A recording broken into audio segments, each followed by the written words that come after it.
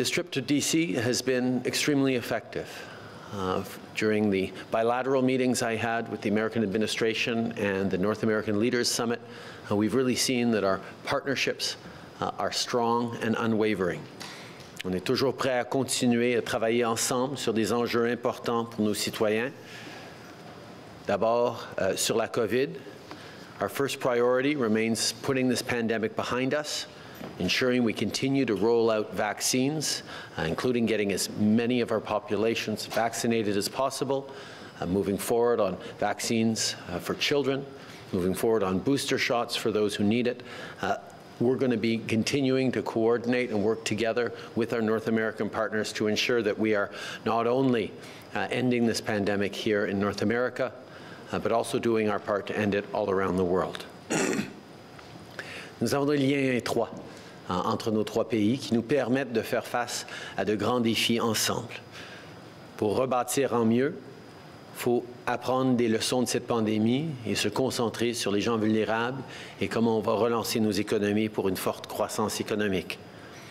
Obviously, uh, the, the uh, CUSMA free trade deal, the new NAFTA that we signed uh, just a couple of years ago, uh, is a strong pillar of support for trade in our economies and continues to create opportunities for our citizens.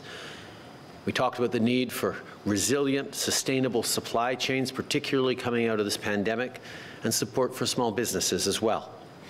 I did have an opportunity to directly raise concerns uh, about the proposed electric vehicle tax credit, uh, as well as discussing the Buy America uh, initiatives and concerns around uh, the Line 5 situation. But we have to remember that people are at the heart of our economy.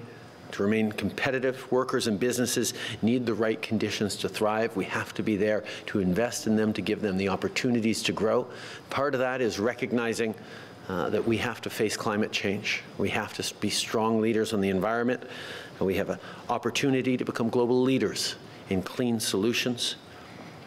We also can move forward on strong labor protections and standards, and we'll always be there to reinforce and strengthen our democracies as we uh, encourage and stand strong for democracies abroad as well.